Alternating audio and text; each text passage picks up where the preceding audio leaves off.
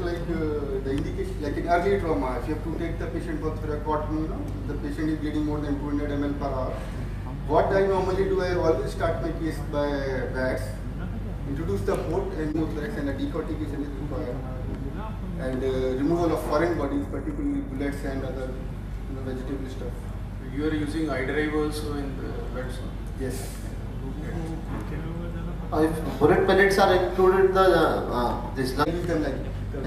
Secondly, if the bullet passes the lung and goes through the wound and the patient is stable and you have put an ICD or you're not doing anything, and then you have to repair it or it can uh, heal by itself. Most of the times they heal spontaneously. Right. If there is no interpleural collection, patient is not septic, you don't need to do anything. Don't wait.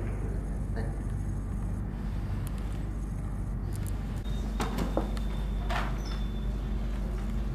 myself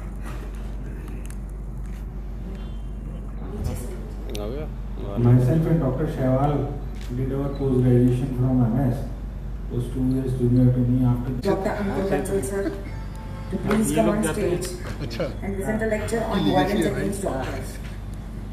The hardly on Sunday. uh, same way as we do here. And since I am the last batsman out here in the conference, so I would uh, make it fast and uh, not bore you much now. So I start my lecture. Sorry, uh, after. It is the topic which is uh, common to all uh, and everyone. It is uh, very common nowadays. Violence towards hospitals and doctors and what are the prevention strategies for that? So I start with uh, what is violence against doctors? It is the incident where people are abused, threat, threatened or assaulted in circumstances related to their work involving an explicit or implicit challenge to their safety, well-being or health. So what is the key issue? What is the extent of problem? Why does it occur and what can be done? We are not alone. Other countries are facing the same thing. Like in the US, gynecologists are threatened over the actual murder over abortion. More of the half of the emergency nurses have physical violences like spitting, kicking. Why it is among doctors might be because of prolonged waiting time, dissatisfaction with the treatment, disagreement with the physician, intoxication, mental illness, malpractice, Despite the fact that the complexity of the human body and the uncertainty involved in the medical procedure are of such great magnitude that it is impossible for a doctor to guarantee a successful result. He is not to be expected to be a paragon, polymath, or a prophet. So, there are the recent trend says they are increasing expectations of the patient, unrealistic expectations by the family. कि कुछ जादू हो जाएगा, medical miracles. It, there is a saying which is saying, Formerly, when religion was strong and science was weak, men mistook magic for medicine. And now the paradigm is when science is strong and religion is weak, men mistake medicine for magic. So there is an allegation of medical negligence on a doctor proves an old proverb true. Yajna karte haath jalna. So we are running. So what constitutes the violence? It is telephone threats, intimidation, moral abuses, physical manhandling, what is the workplace violence? Which includes violence which often takes place during times of high activity, like when we interact with the patients, when the patients get admitted, when the patients are transported, or when the patients are involuntarily admitted, when the, there is a uh, procedure of billing or some issues with the hospital rules. During admissions, the violence mainly occurs during explaining the grave situations. When the prognosis is bad, the patient and attendants don't want to listen about these things. When we used to do surgeries which are costly or the treatment is costly because the patient is uh, had bad prognosis. If some anaphylactic reactions occur, unexpected consequences of the treatment, or there is some complications of the condition, or if, if there is a death. During the patient transportation or shifting, assaults can occur when the service is denied. And when the patient and attendants want the doctor should accompany and doctor is not accompanied during shifting. Patient dies before or during shifting or patient dies at the tertiary center on or after shifting. And the sub- most important cause of all violence in the hospital which I believe and it is the most important thing is billing. They don't understand the billing procedures. They say that we are uh, being char- overcharged. The things are unexplained. We are being unwarranted charges, inability to pay charges. It is Innova UP80A. So kindly ensure that. Hello? The violence is the billing part. So there are some hospital rules like advance payment, office permissions, and one of the most other important uh, cause of violence in hospitals is prescribing medicines, appliances, and materials to be purchased from hospitals only. So these are also a cause of violence. What is the workplace violence? People used to have offensive languages and abuses, threats of assaults, physical assaults, destruction of building property, medical equipments, disrupting the ho- hospital routines. Threats, non-harmful attacks, slapping, blackening, times. This is the most common cause of this uh, there. If in ICU, if there is a death, denying entry process. In OT, if there is a uh, DOT, repeated delay or postponement of surgery. Wards, denial of policies for preventing and managing crisis and potentially volatile patients. Drug and alcohol abuse, access to firearms, and the most important cause is unrestricted movement of the public. Poorly lit corridors, rooms, parking lots. Violence can be physical, non-physical, destruction to the hospital structure. So, what are the non-verbal clues which, which indicate that patient and or attendants might cause violence? Physical appearance like neglected hygiene and clothing, arms folded tight against chest, clenched fist, heavy breathing, pacing or agitation, terrified look, fixed stare, aggressive or threatening posture, throwing objects, sudden change in behavior, or indications of drunkenness or substance abuse. These are the things which we can see in the attendants that they can cause violence in the hospital. Violent behavior indicators like staring and eye contact, if their tone is high, attendants are in anxiety or mumbling with each other. So, who is the responsible? Doctors, are paramedics, hospital administration, patient attendants, limited resources, or law. So, the basic cause of all these problems is lack of communication between doctor and patient. This is the most common cause. Today, in this scenario, violence can be decreased if you communicate better with the patients and with the attendants uh, again and again. Secondly, the image of the medical profession as shown by all in and media is very poor today. That is why attendants are always prejudiced, judicious to have some uh, poor image of the medical profession. Lack of faith in judicial system, mobocracy, small time leaders come with the patients to get grab the attention of the media, desire to achieve two minutes of fame, notoriety, caste-based and other such politics. So, what is the impact of career uh, impact career of a young surgeon or young doctor? It increases stress-related outcomes, decrease organizational skills, increase in errors, decrease job satisfaction, financial burden. So, preventing workplace violence is a roadmap for healthcare facilities. How to deal? Not meet. It is the most important thing is not meet anger with anger. If the, the patient attendants are angry, don't get angered. Address the grievances, listen to them, but also call for help. Doctor must form groups which can take over in such instances. Doctors who can, can't communicate well are more likely to end up in the court. This is the most important line. In the sick room, 10 cents worth of human understanding equals $10 worth of medical science. Dealing with human beings in extraordinary moments of fear, anxiety, and doubt. Communication, communication, and communication about cost, complications, challenges, the procedure is the most important thing to deal with these uh, factors. Doctors must make efforts to educate and inform the public at large about disease and medical problems. Time barrier to communication. If your lack of time can be managed, use paramedical staff, delegate the work to repeated explanation and counselors. Educate and inform the public. This is the most important part. Joint seminar with local police, chief medical officers, media, district magistrate to inform and to educate the public. Protection against the violent charges, informed consent, police complaint, put, put CCTV cameras, liaising with the police. These all things are needed. Today, patient expectations has increased. They they want everything and they want don't want to pay anything. Or display all the informations uh, relevant to the things on boards, counters. Try not to escalate cost later on. Charge plans frequently. Also display rules regarding consequences of violence in hospital. Accept responsibility. This is very important. To err human, to admit is superhuman. In poor prognosis cases, senior doctors must talk to the relatives, allow second opinions, no charge for managing complications, show humanity in financial dealing after death. Documentation is very important, must begin right from the first contact of the patient till final goodbye. It, it should have a prescription, details, complaints, history, diagnosis, treatment, consent, if any complication, modalities and further follow-up if needed.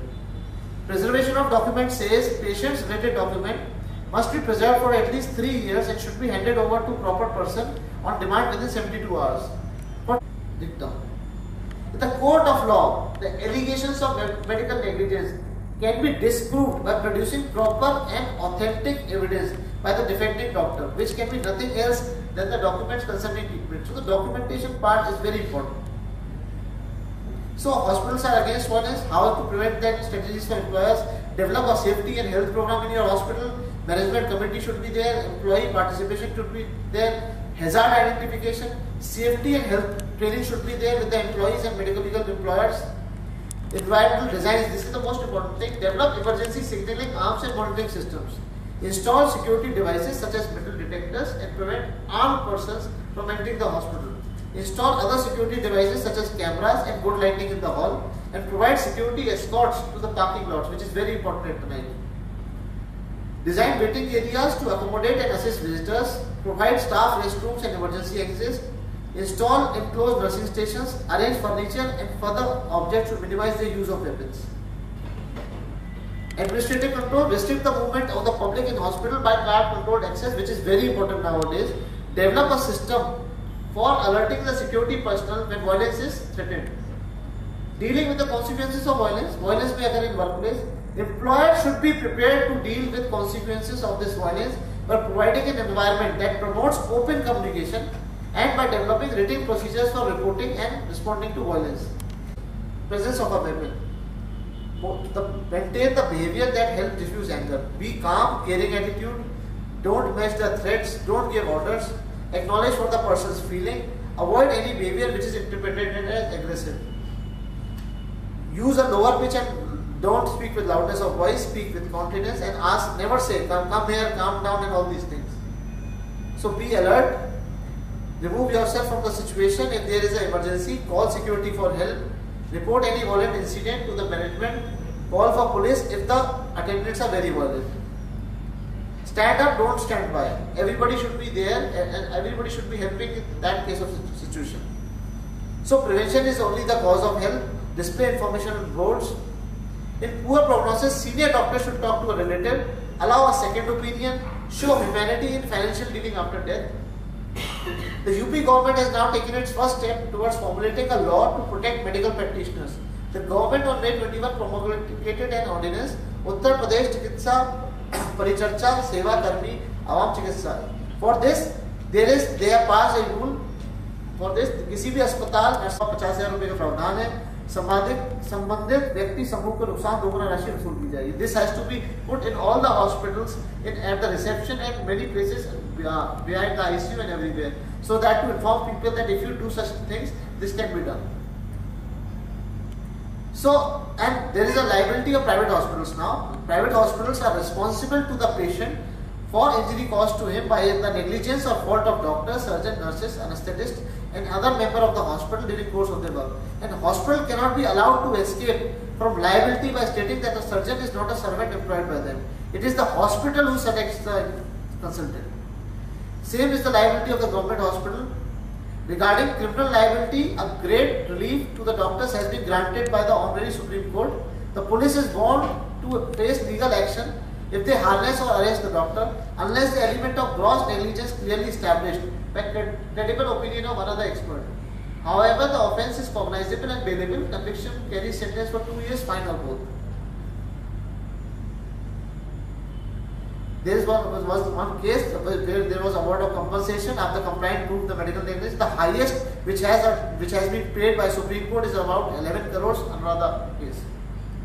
So medicine is a science and a practice and art. Science requires constant updating, but the part of art doctors must develop for, of positive transference. Doctor must look presentable, his dress code, no smoking, no chewing tobacco, non-intoxicated, confident, sympathetic behavior towards the attendants and patient and must know do's and don'ts which are very important. Just a second. General physicians are commanding good respect in the society, but their job is not less skillful than that of an artist who balances on a rope and the balancing rod has one on end science and on other law as well as ethics. So what are the do's and don'ts? Do's are keep adhere to MCI Act and regulation beside other laws. Clinic chamber must be fulfilling the requirements of CEA. Registration counter, proper documentation and inquire uh, confidentiality. Manage longer waiting queue. Investigations as per necessity only. Indoor management if needed may require referral, don't delay. Consent of patient as per requirement.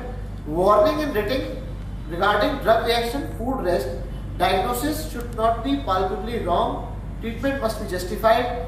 Must note any point of contributory negligence. No use of any sign to invite litigation of unfair trade practice. No prescription without actual examination of the patient or phone must be avoided except in emergency. No examination of female patient without a female attendant. No use of separate sheet bearing the same name of investigation center. Don't show interest in patient's personal affairs. Don't prescribe obsolete drugs nor cross-pathy. Don't hesitate for second opinion or referring to higher sector or to inform police in medical legal cases. Don't shout on patients or attendants. Don't withhold necessary information from patients or attendants. Injection in chamber practice should be avoided. No loose talk about your colleague in front of patients or comment on his prescription. This is the most important thing which everyone should practice. So, in conclusion, thank you.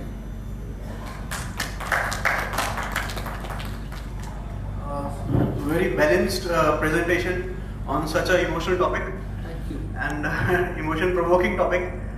And uh, almost all of the points were covered. Uh, good that not uh, you have not blamed just the patients.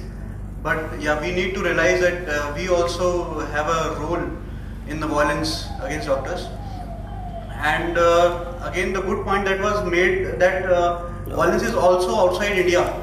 We have a wrong impression that violence is only in india Now with the open-minded head to the doctors. yes and uh, probably uh, Thank you very much. Thank you, sir. Really nice presentation on this topic. Thanks a lot. sir.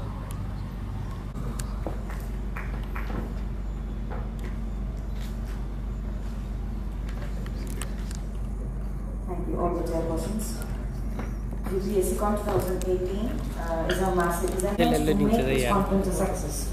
It is important to acknowledge efforts taken in order to make this conference, this moment of positivity. This, it is with great honor and pride that I am delivering the vote of thanks of sincere gratitude to the chief guest for accepting our invitation to grace this occasion a key, as a keynote speaker. Thank you all so much for your contribution in this event with innovative thoughts and stimulating inputs on our theme this year. My gratitude is also extended to all the invitees of the conference who have spared their time to share their experience with us. Next, my sincere appreciation is extended to all the guest speakers and session chairs, some of whom has come from other states like Dr. Baba Rahmani sir, who has come from Jollygrant Medical College. Thank you so much sir for, the, for your presence in this conference and for the participation of our whole delegates in this conference. Last but not the least, I would like to thank all the sponsors and the organizing committee, the organizing secretary, Dr. Surendra Pathak sir, organizing chairman, Dr. Uh, Zaman ma'am, the president, Dr. Julie Singhal ma'am, the, the president, Dr. Prashant Lavania sir, vice president, Association of Surgeons of India, Agra, to make this event a grand success. Yeah, but the event would not be successful with this. Residents have made it a success. I will name you Dr. Shisham Sharma, Dr. Anurag Anand, Dr. Sonal Majan, Dr. Malviya and Dr. Rohit in the OT. They have worked day and night for making it a success. You have completely for last three days you are in the hall. You have spent your time here and you have done it wonderfully. And I wish you success in the life future also. And UPSCon belongs to the junior persons and everybody has been involved. And I wish you luck and congratulations for the UPSCon 2018. Thank you so much. Because of all your support, only, sir,